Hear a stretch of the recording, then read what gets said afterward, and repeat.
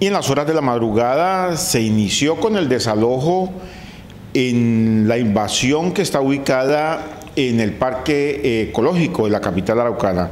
Allí fueron sorprendidos sus habitantes con la llegada de las autoridades en horas de la madrugada. Ellos buscaban una reunión con el alcalde para llegar a un acuerdo. Las personas que habían invadido el sector del Parque Ecológico del municipio de Arauca fueron sorprendidos por la Policía Nacional y el Escuadrón Móvil Antidisturbios MA en la madrugada de este viernes 22 de enero del presente año. La situación que tenemos hoy es que el señor inspector de policía dio la orden que desalojara a todo el mundo. Y aquí hay gente humilde, gente todas las personas que vemos acá somos habitantes de esta invasión. ¿Por qué? Porque no tenemos un hogar donde llegar a vivir. Somos desplazados. Aquí hay gente desplazada. Acá hay gente que le ha tocado venirse de otras partes porque los han amenazado la guerra. Estamos en medio de la guerra. ¿Por qué? Buscando que nos maten acá. Vinimos aquí a buscar una vivienda digna. ¿Y qué hace el señor inspector de policía? Sáquenlos, acábenle con todo. ¿Ah? ¿Por qué no acaban esa invasión ahí para abajo? Todo eso ha sido invadido, todo eso, todos esos lotes ahí para abajo ha sido invadido de una sola persona. ¿Y quién los ha vendido?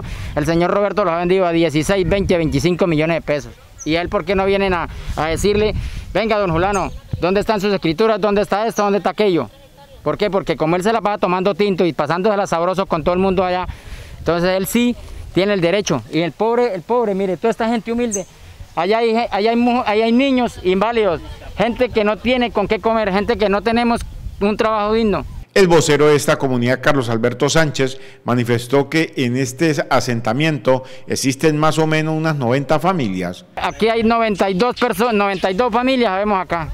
Los habitantes de este sector solicitaban la presencia del alcalde del municipio de Arauca para llegar a un acuerdo. El alcalde nunca nos ha dado la cara, siempre manda que al uno, que al otro, que al otro. Ahí vino el señor personero y él dijo, a mí se me sale las manos porque esto no es, no es, no es, mi, no es mi labor de yo sobrepasar por encima de, las leyes del, del inspector de policía. Él vino, tomó fotos y eso. Por último, este ciudadano le hizo un llamado a las autoridades para que no los atropellen debido a que ellos son seres humanos. Entonces, ¿a quién acudimos? La Procuraduría no nos ha colaborado. El bienestar Ahí están, ¿qué dijeron ahorita? Que tenían que salirse en todas las mujeres y los niños embarazados, y los niños, las mujeres embarazadas que tenían que retirarse para ellos poder coger y tirar lágrimas, eh, gases. ¿Para qué? Para atacarnos a nosotros los hombres. No, ¿cómo va a ser posible?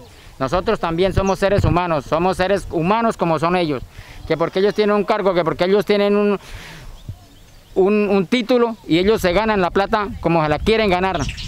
Al final de la mañana acordaron salir voluntariamente de este asentamiento de la Reserva Natural del Parque Ecológico de la capital araucana.